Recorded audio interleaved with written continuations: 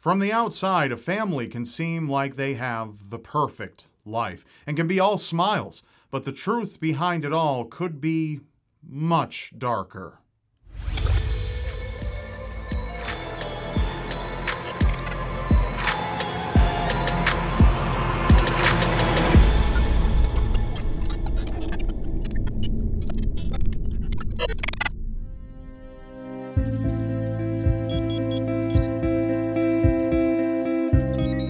May think we know our loved ones, especially when we make a long term commitment to them, but in reality, sometimes people don't reveal their ugly sides until it's far too late. Cosmetologist Susan Cox met Joshua Powell through their common faith in the Latter day Saints Church, and they fell in love and married at the Portland, Oregon Latter day Saints Temple in 2001, where Susan's family resided. Everything seemed to be going well for the young couple, and they were elated with the birth of their two sons, Charlie and Braden. Deciding they wanted to be even closer to Josh's mother and siblings, they picked up their roots and moved to West Valley City, Utah. Both Susan and Josh found work and the growing family seemed to be happy, but that happiness was short lived. Susan confided in friends that her marriage was in turmoil and causing her constant stress, mainly due to Josh's extremely controlling personality, his extramarital affair, and his exorbitant spending habits. Using Susan's credit, Josh managed to rack up a $200,000 debt, money he didn't have the means to repay, forcing him to declare bankruptcy in 2007. But the more Susan's friends heard of what her marriage to Josh was really like behind closed doors, the more they realized the move from the Northwest to Utah may have not been to be closer to Josh's family, but to escape Steven Powell, Josh's father, who'd been making inappropriate sexual advances towards Susan since the marriage began. Still, no one, not even those closest to Susan, knew how truly afraid she was for her and her children's lives, or how much danger they were actually facing.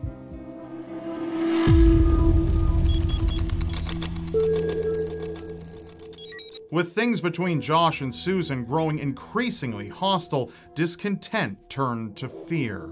After speaking with an attorney, Susan began preparing for what she felt was Josh's inevitable meltdown. She first composed a will, saying that she wanted it documented that there was extreme turmoil in her marriage, and that if she were to die unexpectedly, not to believe it was an accident, even if it looked like one. The final line of the will revealed who it was she feared, reading, For family and friends of Susan, all except for Josh Powell, my husband. I don't trust him.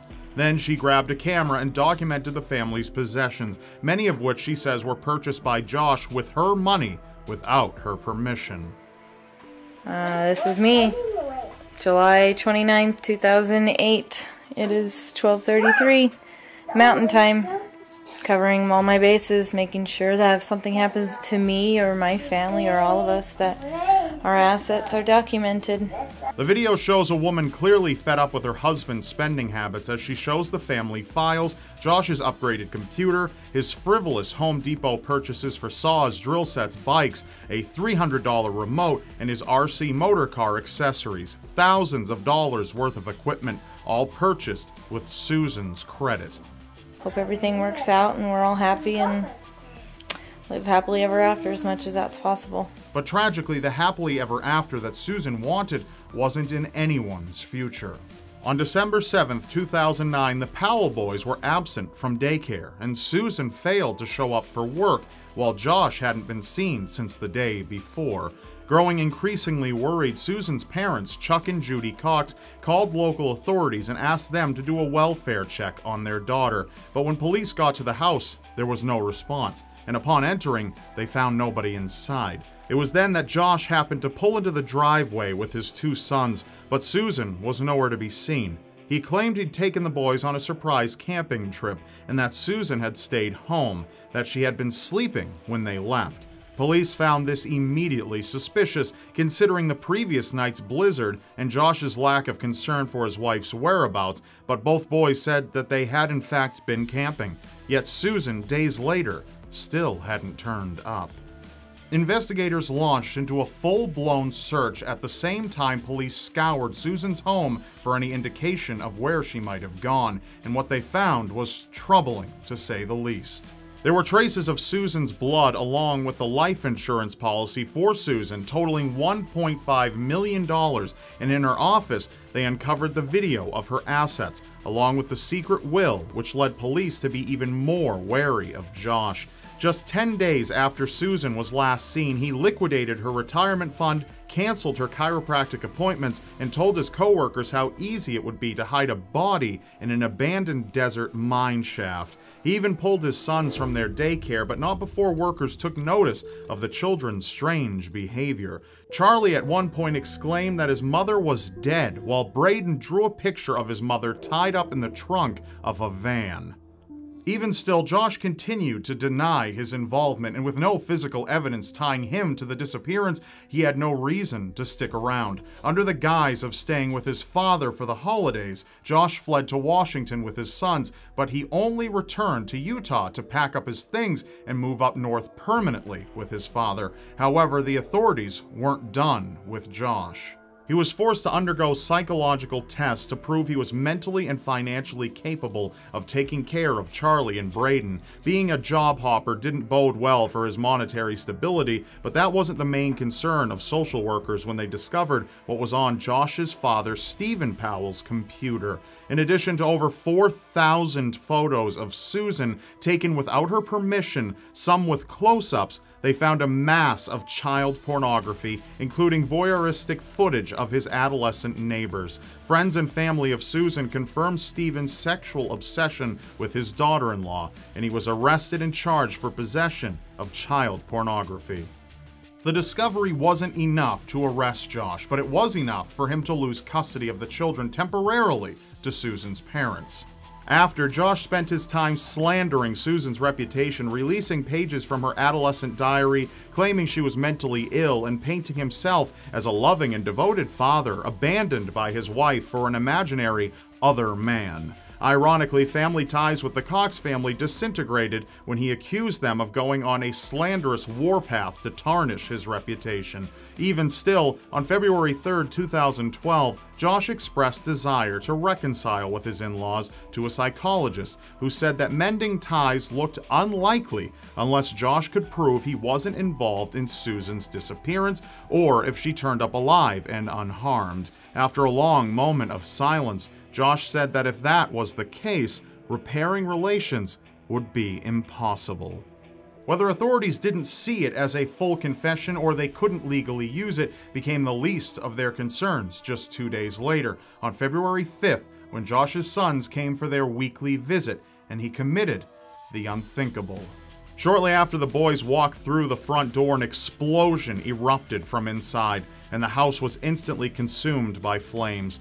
First responders arrived and put out the fire, but found all three Powells, Josh, Braden, and Charlie, dead.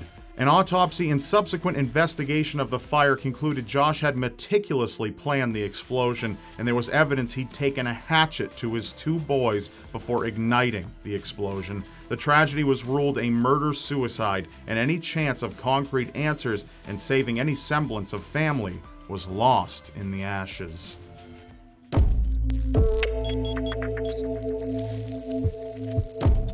Despite the death of their main suspect and still no trace of Susan, police continued to investigate and uncovered yet another family secret, this time about Josh's brother, Michael Powell.